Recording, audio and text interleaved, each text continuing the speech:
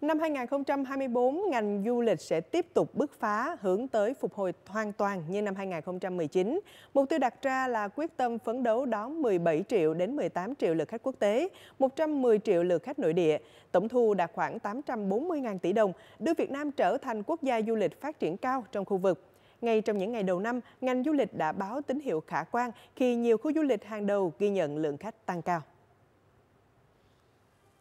Nhiều du khách bày tỏ sự thích thú khi đến tận hưởng Tết tại Sapa. Từ ngày mùng 3, không khí xuân tại đây lại càng nhộn nhịp hơn khi diễn ra lễ hội khen hoa và hội xuân mở cổng trời Phan Xi Băng với nhiều trải nghiệm. Hôm nay rất là vui mừng vào một cái ngày đầu tiên của năm mới mà mình có cơ duyên để ghé đến đây để thăm ờ, dãy núi Phan Xipang và mình được ờ, vãn cảnh chùa mà ngay gần ở nơi đây thì mình cảm thấy rất là an yên. Đà Nẵng tấp nập đón khách đầu năm mới với lượng khách đông nhất được ghi nhận tại đỉnh Bà Nà, khu vực vườn Hội An thu hút khách với những trải nghiệm Tết cổ truyền. Các chương trình nghệ thuật mừng xuân giáp thìn diễn ra liên tục phục vụ du khách. Chúng tôi rất là phấn khởi à, vì ngay từ những ngày đầu năm lượng du khách tham quan và du lịch đến thành phố rất là đông đúc và nhộn nhịp và ngay từ ngày đầu năm mới chúng tôi cũng đã đón các chuyến bay nội địa và quốc tế từ Thái Lan và Đài Loan cũng như các chuyến tàu biển đến với thành phố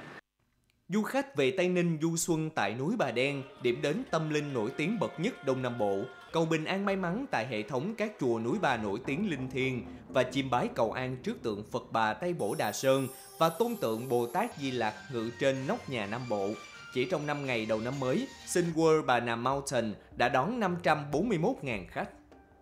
Mình cảm thấy là không không gian nó rất ờ, thoáng đãng, rất đẹp và một khu tâm linh thì nó gọi là rất hoành tráng. Phú Quốc là điểm đến đón khách quốc tế đông đảo nhất dịp Tết khi đang vào mùa đẹp nhất năm, liên tiếp đón nhiều chuyến bay từ Thái Lan, Malaysia, Nga, Trung Quốc, Kazakhstan, Cộng hòa Séc, Ba Lan, Mỹ, Mông Cổ với hàng chục ngàn du khách. Hiện mỗi ngày có trên 2.000 khách quốc tế đến đảo Ngọc. Tôi đã xem show diễn Nụ hôn của biển cả và thật sự thấy choáng ngợp bất ngờ khi được xem một chương trình biểu diễn hoành tráng như thế này tại Phú Quốc.